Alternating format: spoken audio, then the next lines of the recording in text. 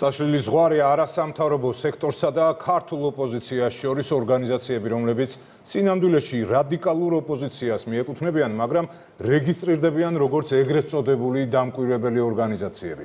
გეგმა ნათელია ვითარების არევა და საარჩევნო პროცესებისთვის მაქსიმალური ზიანის მიღება.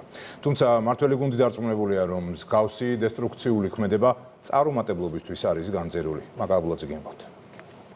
ცესკოში რეგისტრირებული 102 ადგილობრივი სადამკვირვებლო ორგანიზაციიდან 53, ანუ ნახევარზე მეტი, 52% ეწევა ქართული ოცნების საწინააღმდეგო საქმიანობას.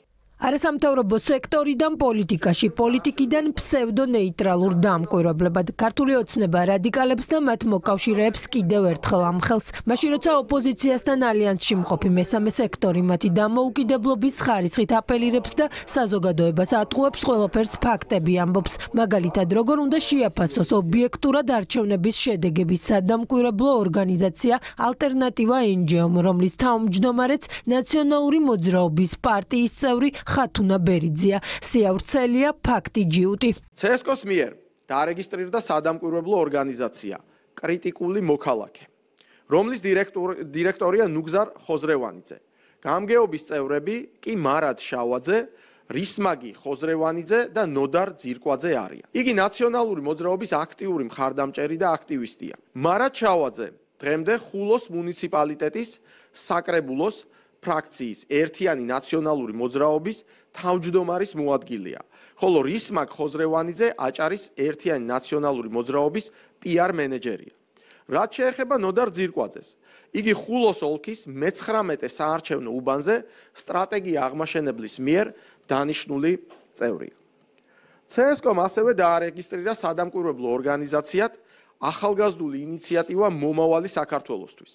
ამ ორგანიზაციის თავმჯდომარე ლაშა ადამია აჭარის ერთიანი ნაციონალური მოძრაობის წევრია და აქტიურად ეწევა პარტიულ საქმიანობას. ამ ადგილობრივი სადამკვირვებლო ორგანიზაციების წევრების თუ ხელმძღვანელი პირების უმეტესობა ნაციონალური მოძრაობის აჭარის პარტაქტივს წარმოადგენს. შეკითხვების ადრესატები სატელეფონო ზარებს არ პასუხობენ. ნაციონალური მოძრაობის აჭარის ბიუროში კი ისევ ტყუიან. ამბობენ, რომ მხილებულ ფსევდო დამკვირვებლებს არ იცნობენ. არადა ეს ფოტოები თითქმის სამი კვირის წინ არის გადაღებული და აქ არჩევნებზე დამკვირვებლად მივლენილი რისმაგი ხოზრევანიძე ნაცაბის ლიდერებთან ერთად კარგად ჩანს. ანუ რის მაგის და მის ძმას თქვენ არ იცნობთ არანაირი მე ვიცნობ აჭარის მოსახლეობის 80% პრემიერ-მინისტრისთვის ეგრეთ წოდებული ადგილობრივი სადამკვირვებლო ორგანიზაციების პოლიტიკური წარსული კარგად ნაცნობია. შესაბამისად, ირაკლი კობახიძე ამბობს, რომ არჩევნები უპრეცედენტოდ მშვიდ გარემოში წარიმართება. ფსევდოდამკვირვებლები კი მიკერძოებულობის მიუხედავად რეალობას ვერ შეცვლიან. გავრცელებული პრაქტიკა სინამდვილეში არის ორგანიზაციები, რომლებიც მიეკუთვნებიან რადიკალურ ოპოზიციას ისინი ვერავითარი მიუკერძოებელი დამკვირვებლები ვერ იქნებიან, თუმცა ამ ყველაფერს არ შეუძლია რაიმე არსებითი გავლენის მოხდენა საარჩევნო პროცესებზე. არასამთავრობო სექტორსა და ქართულ ოპოზიციას შორის ზღვარი დიდი ხანია წაშლილია.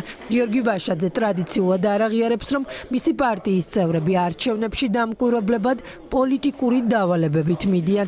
ხუილია. დამკვირვებლები არიან იმისთვის, რომ დააკვირდნენ არჩევნებს. კოლექტიური ნაციონალური მოძრაობის ამბიცია, რომ არჩევნებს ობიექტური შემფასებლების სტატუსით დააკვირდნენ და შედეგებით საკუთარ დღის წესრიგს მოარგონ ქართული ოცნებისთვის პოლიტიკურ აბსურდსაც ცდება. ინფორმირებული ამრჩეველი არის გადამწყვეტი ამ არჩევნებში, ამიტომ ჩვენი მხრიდან დეტალურად იქნება ყველა მიმართულებით ინფორმაცია მიწოდებული საზოგადოებისთვის. რეალურად ესენი არიან არა დამკვირვებლები, არამედ სიტუაციის ამრევები კონკრეტულ უბანზე, კონკრეტული რადიკალური ჯგუფების დავალებით. ისინი ახალსაც ვერ ეფექტებენ ვერაფერს, დადიან ერთდაიგივე წრეზე და თითეული ეს პროპაგანდა, თითეული ეს სიცრუე, თითეული ეს დარღვევა არასულ 24 საათში ენგრევათ ხომ. ხელისუფლება ობიექტურ შეფასებას საერთაშორისო დამკვირვებლებისგან ელოდება. ჯერ კიდევ თებერვალში ისინი მმართველმა გუნდმა ოფიციალურად მოიწვია. ცესკოში ორგანიზაციების რეგისტრაცია დასრულებულია. ცენტრალურ საარჩევნო კომისიაში რეგისტრირებულია 102 ადგილობრივი სადამკვირვებლო ორგანიზაცია, 8 ადგილობრივმა სადამკვირვებლო ორგანიზაციამ რეგისტრაცია გაიარა საოლქო საარჩევნო კომისიებში, ხოლო ცენტრალურ საარჩევნო კომისიაში 76-მა საერთაშორისო ორგანიზაციამ გაიარა რეგისტრაცია. არჩევნებამდე 5 დღე დარჩა მმართველი პარტიის პროგნოზი ოპონენტების რადიკალიზმის მიუხედავად არჩევნების მშვიდ კონკურენტულ და სამართლიან გარემოში ჩატარება.